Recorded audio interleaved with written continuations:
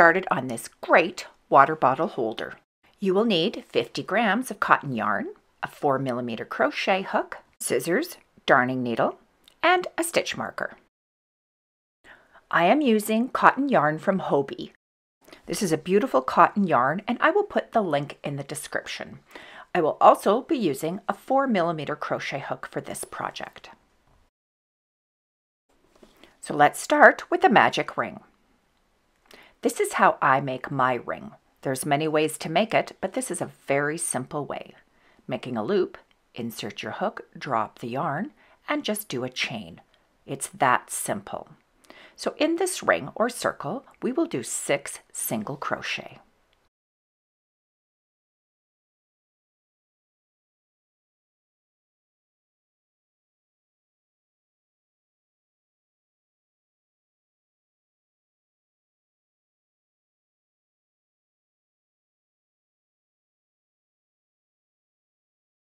We can then pull snug and we will join in the first single crochet. So inserting our hook into that first single crochet, pulling up the yarn, but from here we're going to complete a single crochet. So stop right there and make a single crochet. So this is going to have our rounds continue. Let's place a marker in this stitch. This will be our first stitch for the second round. We are going to then put two single crochet in each stitch. So after we've placed our marker, let's put another single crochet in that same stitch.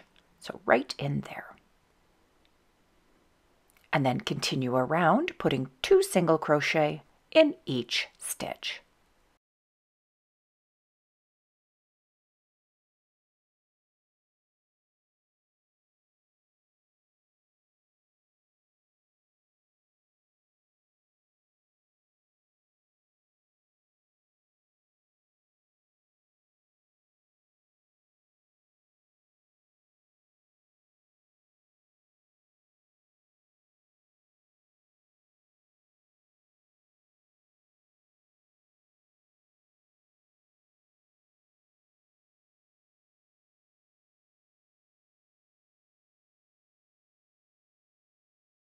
You will now have 12 single crochet. So let's remove the marker. Starting with this next round, we're going to put one single crochet in the first stitch. Let's replace our marker. And then two single crochet will go into the next stitch. And then we're going to repeat that pattern.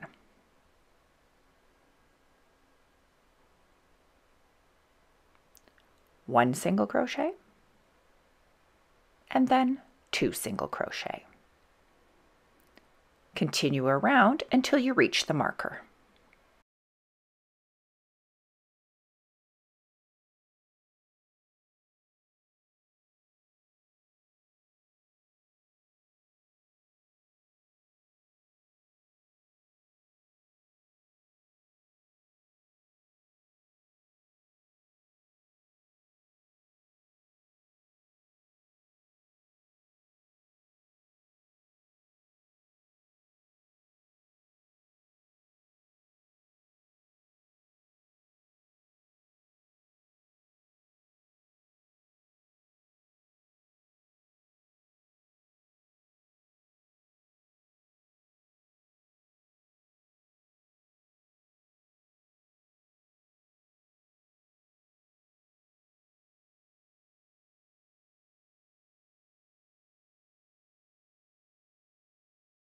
You will now have 18 stitches. So let's remove the marker and we're going to do another increase round, starting in the first one with one single crochet and replacing the marker.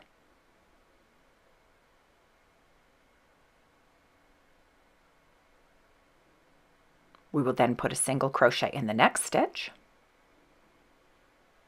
and then two single crochet in the next. And we will repeat this all the way around. So let's do one single crochet, then one single crochet, and then two single crochet. We'll meet you at the end.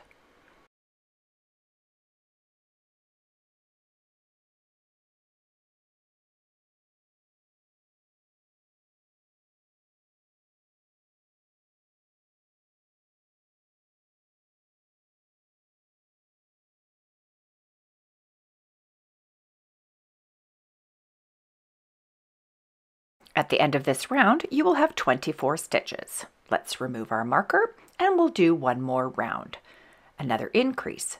So we're going to do one single crochet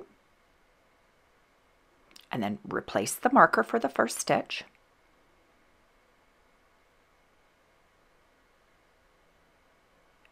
And then we'll do another single crochet in the next.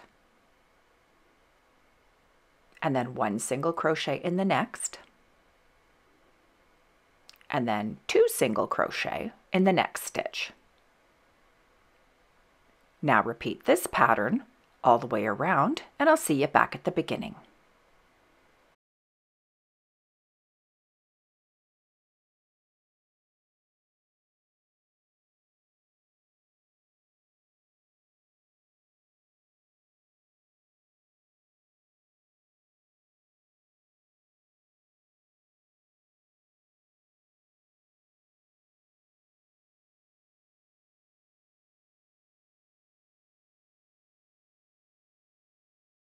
So this is now the base that we have created for the water bottle. You can make it bigger if you like, but with the sides it will stretch around. So we're going to continue with this size um, for the smaller water bottle. So this is about two and a half inches or six centimeters. For our next round, we're just going to do one single crochet all the way around.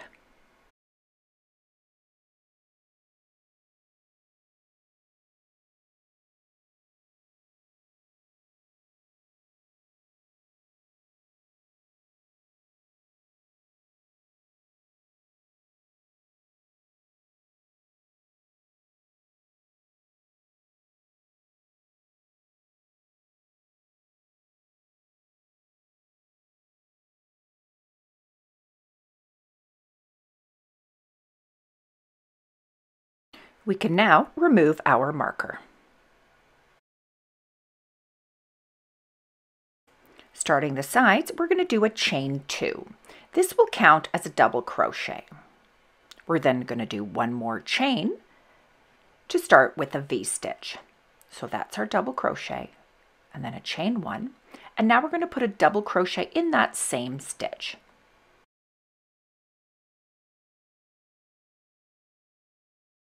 So this will be our first V-stitch.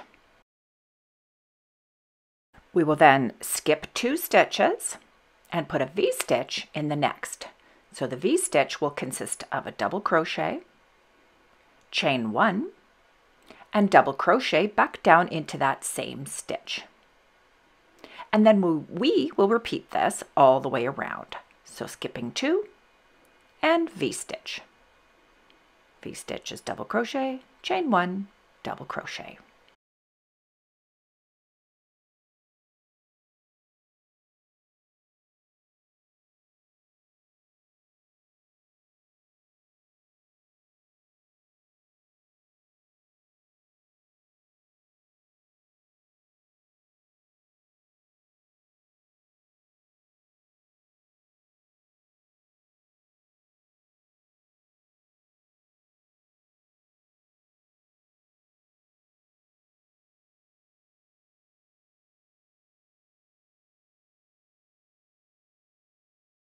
Continue this around, you should have 10 V-stitch. So I will meet you back around to the beginning. And now you should have 10.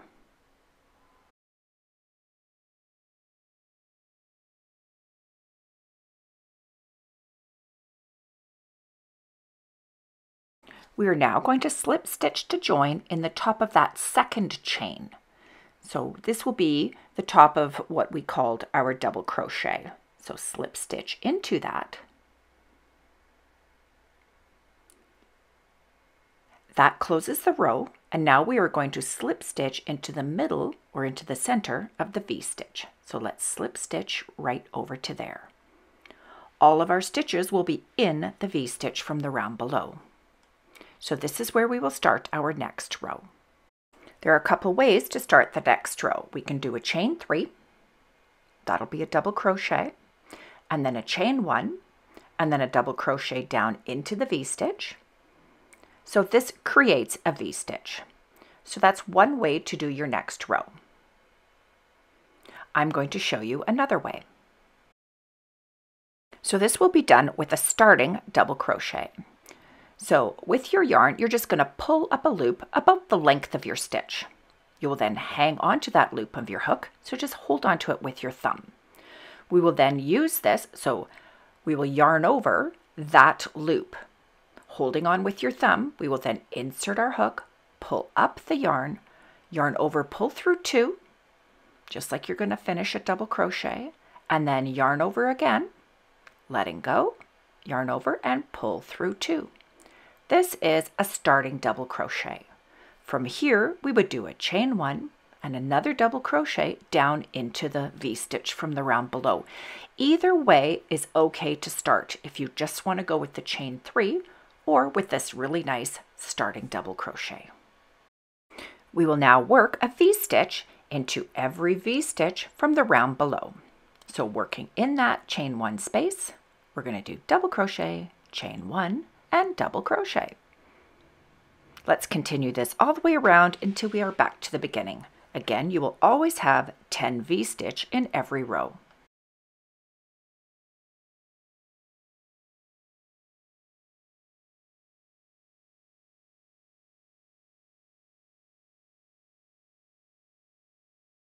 Once you've gotten around back to the beginning, if you've done a starting double crochet, you will see here that there is almost um, like a V on the top of that stitch as well. So you're going to go underneath or in the top of that starting double crochet.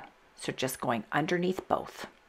If you've done a chain three, just go into the top of that chain three. So inserting our, our hook into here and finishing the round with a slip stitch. So let's slip stitch and then with each round we will slip stitch over into the center of the V-stitch. So slip stitch over and we can start our next round.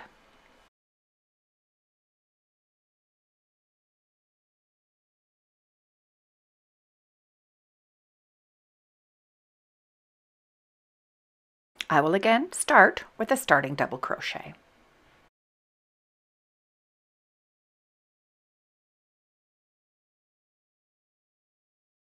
Then, of course, a chain one and a double crochet.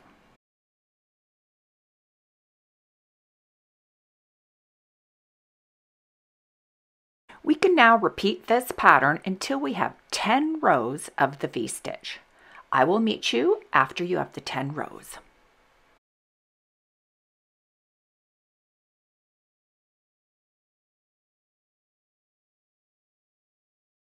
Here you can see that we have the 10 rows. It does not reach the top because we will be adding more rows around the top and when we do our handle.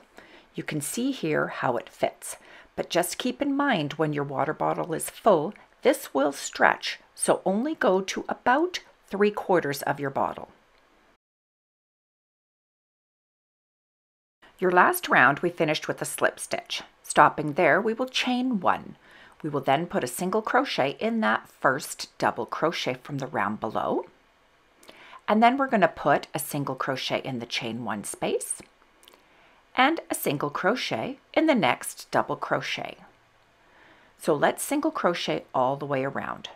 So in each stitch, so into the double crochet, into the chain space, and into the double crochet. So this will give you the 30 single crochet all the way around.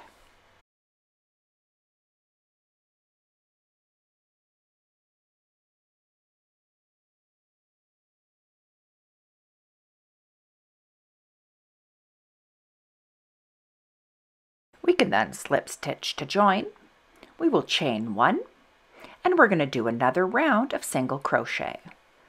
So starting in that first stitch, so chain one, starting in that first stitch, and again, one single crochet in each stitch until you have another 30 single crochet.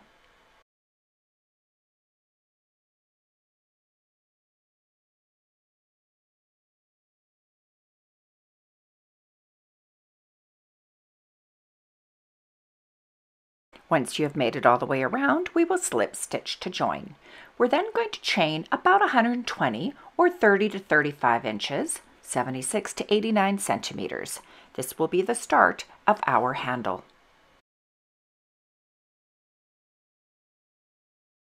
From here, we will attach it to the other side of our bottle holder. So we're going to take the halfway point, which is here. With this, it'll be 15 stitches over.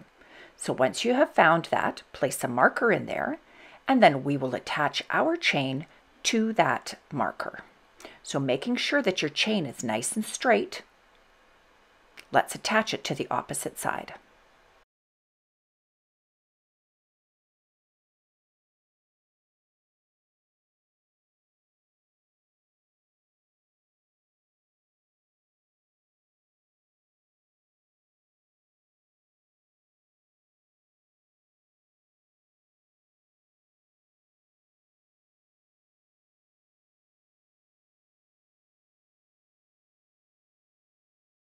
Now that your chain is straight, we can insert and just do a slip stitch to join it to the other side. So going into that halfway point and slip stitch.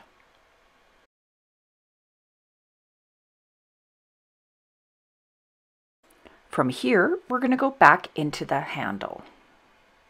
So we are going to go from here into the back loop of these chains. So you can see here the little bump on the back of the chain, which is the back loop.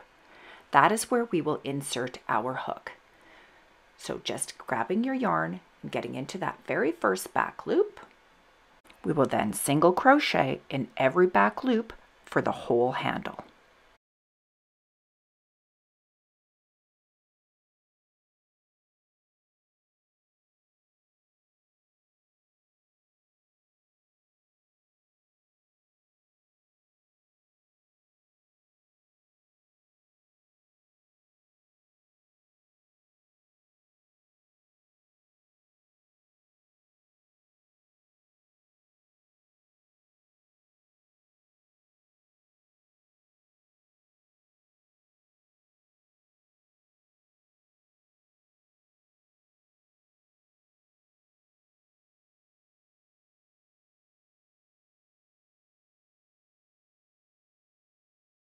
Sometimes this takes a little bit more time, but it will make for a really nice sturdy handle.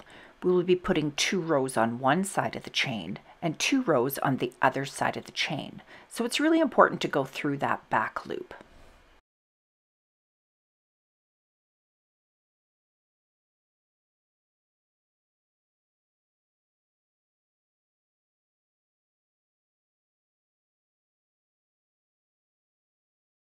I will now meet you on the other side of the handle.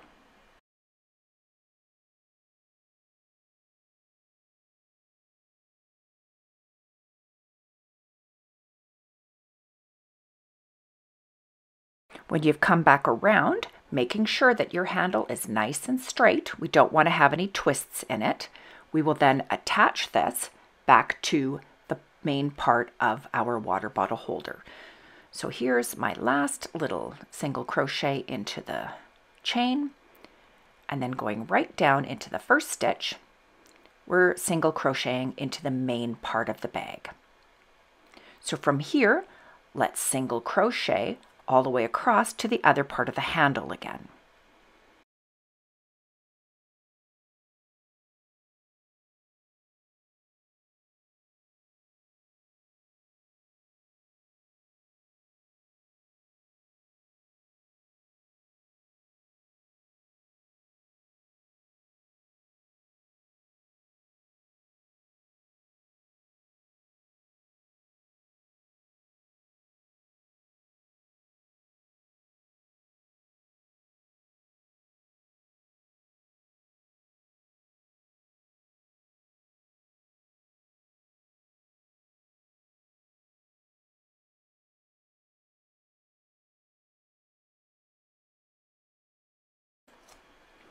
We will now do a second row on top of that single crochet row. So this will be a second row on this side of the chain.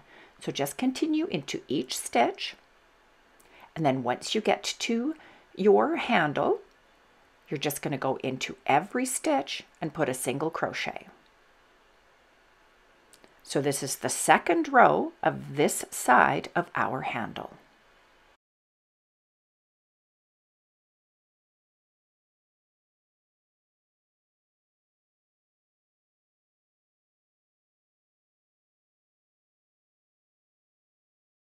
You can see here, this is our chain, and then we did one row, and now our second row. We will go all the way around, and then when we come back around, we will do two rows on the other side of the handle.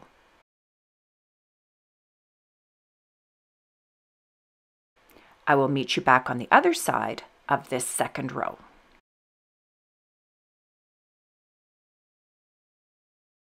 So this is the bottom of the second row and we're going to continue around to the other part of the handle.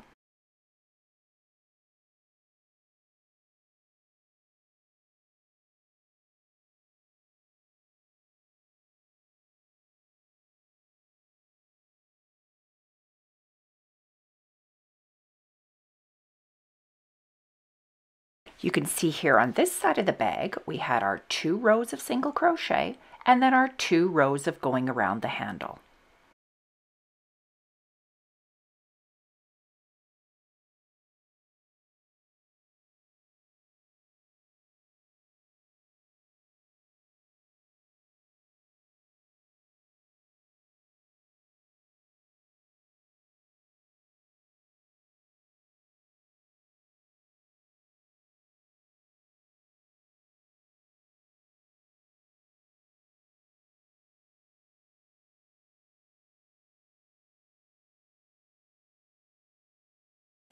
We now want to do two rows on the other side of the chain. So let's stop right here. So here we have our four rows on one side and only two on the other. So we need to go to the other side. So to do this, we're just going to put our handle down and we're going to do a slip stitch over to the other side of the handle. I like to do this because I just don't like to cut my yarn and weave in all my ends. So just on the very inside of the bag, just find any stitch you can and slip stitch over. So I'm going to slip stitch over one, and then I will slip stitch over another one. Wherever you can put your, your hook in there, and we're going to finish this off nicely at the end.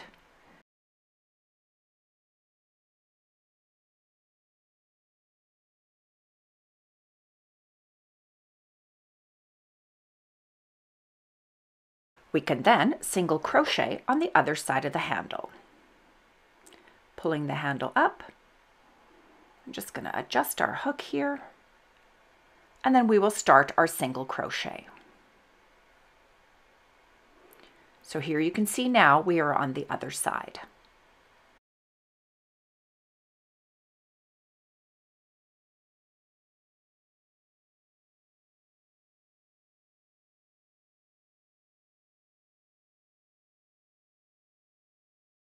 We can now do single crochet around this side. So we're going to do two rows. So first we're going to go across the top of the bag.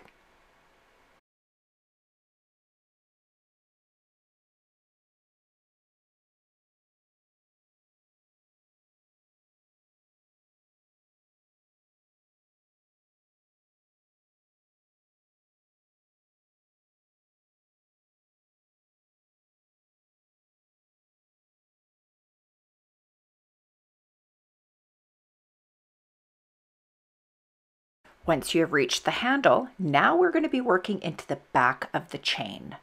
So just going into the last stitch here, and now working into the back side of that chain. So here you have the stitches. You can see it's a nice V because we went into the back loop, and then putting one single crochet in each stitch.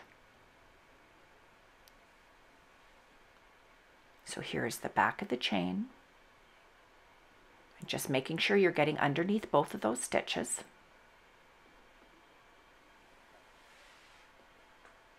And then single crochet all the way around. Let's just get my hook in there to start. It's a little bit tight. And there we go. It's just the corner part that's tight on mine. Single crochet. And now into each stitch.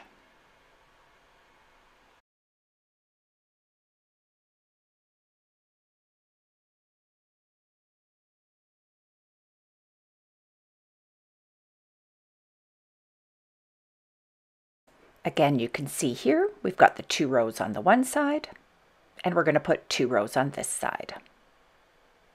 I will meet you back at the other end of the handle.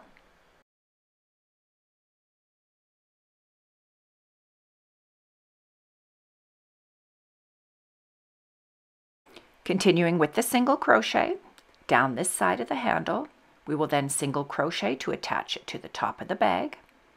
So here's my last stitch. And then single crochet.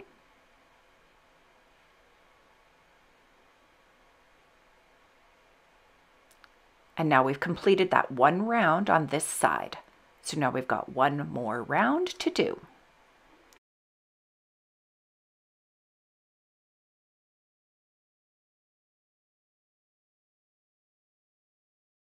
Let's complete one more round and we will stop here. So all the way around and I will meet you here.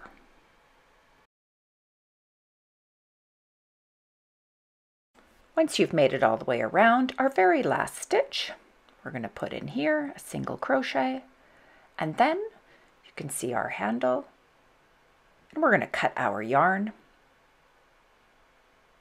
and we're going to weave in our end.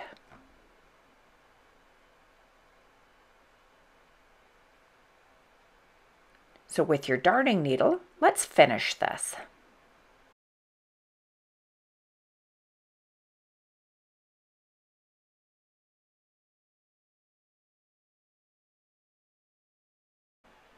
Let's start by doing an invisible close.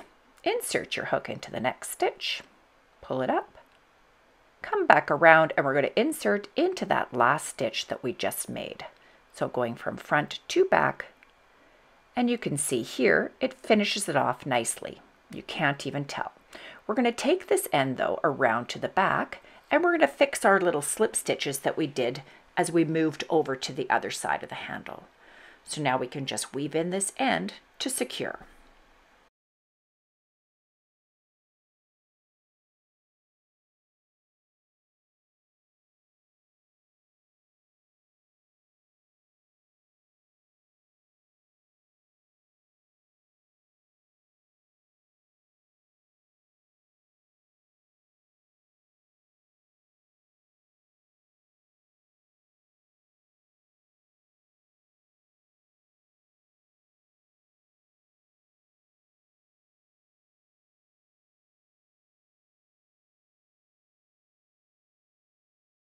You can now see how great this handle looks.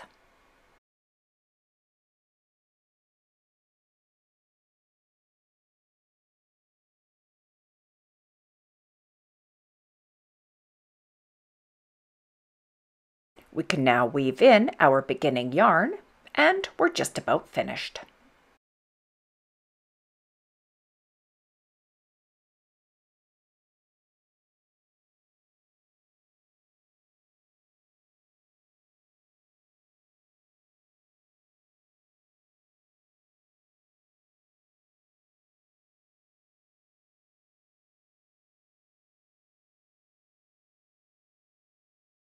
So this is all I had left of my little 50 gram ball of yarn. So this yarn here was about 75 meters or 82 yards. And this is all I had left. So if you want a bigger water bottle holder, you're gonna have to have a little bit more yarn, but this seemed to have worked for my one. I hope you enjoyed making this. Just remember when you put your bottle in there, this will stretch. So it looks like it might not be big enough right now, but it's definitely going to stretch. You can see here too, it actually fit another size of water bottle that was bigger. From the bottom, look how beautiful that stitch is. And again, it will stretch. Happy crocheting and I'll hope to see you again soon. Bye.